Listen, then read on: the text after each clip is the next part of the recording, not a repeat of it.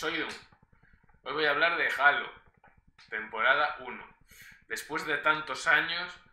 de, va a ser una película, luego era una serie, luego volvía a ser una saga de películas, luego volvían a decir que una serie, luego así ha estado Halo eh,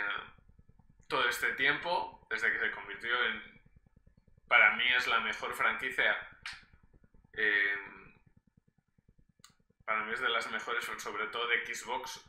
yo creo que es la mejor que hay, yo desde luego me, parece una pasada de, shooter y eso que a mí, yo no soy mucho de shooter, pero es que sé ya solo los escenarios, los enemigos, todo, o sea, está estaba súper curradísimo, yo me acuerdo que la vi flipé, o sea, esto que dices, ostras, es que te, dan ganas de jugar. O sea, uno que le guste un poco la ciencia ficción y tal, dices, ostras,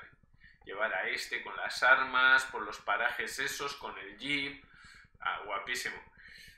Y la verdad es que yo cuando he visto la serie dije, mm, tenía dos, dos, dos eh, miedos, bueno, como la mayoría de adaptación, vamos, tampoco es algo que es, primero, que estaría bien adaptada la trama, que no fuera una trama que dices, ostras, ¿qué tiene que ver con el... O sea, dices, ostras, no tiene nada que ver. Y luego, mm, lo sé, porque bueno, al ser una serie, pues bueno, hay serie, ahora hay series de una calidad brutal, pero claro, siempre dices, uff, tendrá una calidad tal. De esto último, o sea, ninguna pega, o sea, la calidad es brutal, o sea, los enemigos, eh, todo, o sea, las naves, la tecnología, tal, y ya como cúspide que tú dices, bueno, lo que tiene que molar mucho son los Spartan, y el jefe maestro y tal, o sea, es que es impresionante, o sea, es como si estarías viendo el videojuego en la realidad, o sea, las armaduras, todo, o sea, tiene un nivel de detalle, es que es increíble. O sea, yo cuando la he visto, incluso los personajes, que ya no me acordaba muchos, de, de los, pues eso, los enemigos, los del Covenant y tal, digo, joder, es que están hechos es que parecen de verdad, o sea, tampoco tienen, y, además lo que me gusta, que a eso voy a hablar de la trama, es que no tienen, tienen el protagonismo justo. O sea, porque al final el jefe maestro es el prota, aunque hay otras, meten otras subtramas. Quizás es un, quizás el único problema que tiene es que está un poco estirado. O sea, lo podían haber hecho un... Pero bueno, en esta serie siempre siempre pasa lo mismo, o sea, meten subtramas de relleno, una o dos, que tú dices, perfectamente podía pasar, pero bueno,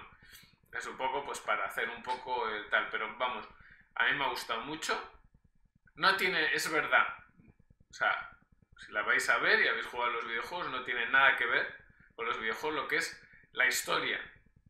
pero tiene una cosa positiva que, aunque la historia no tiene nada que ver con los videojuegos, es como en los videojuegos. O sea, Quiero decir, eh, no pasan las cosas que pasan en los videojuegos, pero todos los personajes están, o sea, todos los personajes con unos roles muy parecidos, o sea, no exactamente iguales, con una trama distinta, con lo cual incluso es más disfrutable, porque si has jugado todos los videojuegos, eh, no, no vas a saber exactamente, incluso ahonda más en temas de los videojuegos, que eso está muy bien, porque al final es una adaptación, o sea, en los videojuegos tú estás sí tiene historia y tal, pero es de disparos y eso.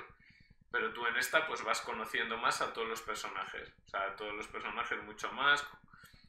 su pasado, tal, la relación que tiene entre ellos. A mí me ha gustado mucho, o sea, mm, si siguen con este tono y con esta calidad, la verdad, para mí es una adaptación correcta, para mí. Para ser el mundo de los videojuegos no está nada mal. Así que bueno, eh, suscribiros al canal, darle like al vídeo.